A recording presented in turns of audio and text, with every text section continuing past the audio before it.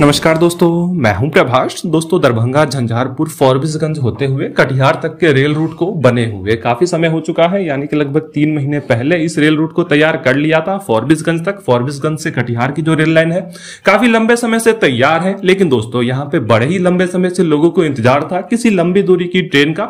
हमारी रेलवे ने जोगबनी से दानापुर इंटरसिटी की अनाउंसमेंट तो कर दी, लेकिन अभी तक ये ट्रेन नहीं चली है। कुछ समय पहले मीडिया रिपोर्ट्स आई थी कि कटिहार पटना इंटरसिटी को जोगबनी से चलाया जा सकता है, साथ ही साथ जो आम्रपाली एक्सप्रेस है, उसे लाया जा सकता है सरायगढ़ रेलवे स्टेशन तक, जिसके बाद लोगों की उम्मीद जग चुकी थी कि यहाँ पे इस रेल रूट को बड़ी सौगातें मिलने वाली है, लेकिन दोस्तों अब यहाँ पे रेलवे प्लान कर रहा है एक बड़ा झटका देने का। दोस्तों क्या है ये झटका? कैसे इससे यात्रियों को परेशानी होगी? आज हम इसी पे बात करेंगे, लेकिन दोस्तों उससे पहले मैं चाहूँगा, यदि आपने चैनल को सब्सक्राइब नहीं किया है, चैनल को सब्सक्राइब कर लें, वीडियो को लाइक कर दें और कॉमेंट करके इस अपडेट पे आपकी क्या राय है? क्या यहाँ पे अम्रपाली एक्सप्रेस को झंझारपुर दरभंगा रेल रूट पे आना चाहिए।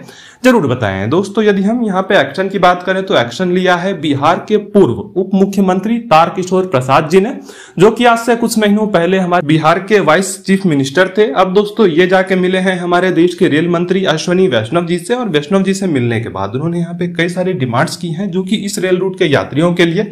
एक बड़ा झटका है, यहाँ पे आपको उनका ट्वीट दिख रहा होगा। यहाँ पे उन्होंने ट्वीट किया है कि दिल्ली प्रवास के दौरान भारत सरकार के माननीय मंत्री अश्वनी वैष्णव जी से मुलाकात कर काफ़ी प्रसन्नता हुई। उसके बाद उन्होंने यहाँ पे डिमांड्स बताई है। उन्होंने बताया है कि नॉर्थ ईस्ट एक्सप्रेस भारत का गेटवे कहे जाने वाले कटिहार जंक्शन से वंदे भारत का परिचालन, कटिहार जंक्शन से दक्षिण भारत के लिए सीधी ट्रेन का परिचालन, आम्रपाली तथा इंटरसिटी का परिचालन कटिहार जंक्शन से यथावत रखने हेतु इन मुद्दों पर विस्तार पूर्वक चर्चा हुई। यानी कि यहाँ पे उन्होंने सबसे पहले तो वंदे भारत एक्सप्रेस की डिमांड की है, उसके साथ ही साथ उन्होंने कटिहार से साउथ इंडिया के लिए नई ट्रेन की डिमांड की है, जो कि रेलवे दे सकता है, क्योंकि चांसेस काफ़ी हाई है।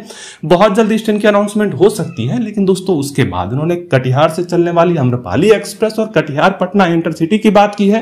उन्होंने यहाँ पे कहा है कि इन दोनों ट्रेनों का विस्तार नहीं होना चाहिए, इन्हें चलना चाहिए कटिहार रेलवे स्टेशन से ही, जो कि एक बड़ा झटका है दरभंगा झंझारपुर रेल रूट के लिए। दोस्तों, इस अपडेट पे आपकी क्या राय है? कमेंट करके ज़रूर बताया जय हिंद, जय भारत।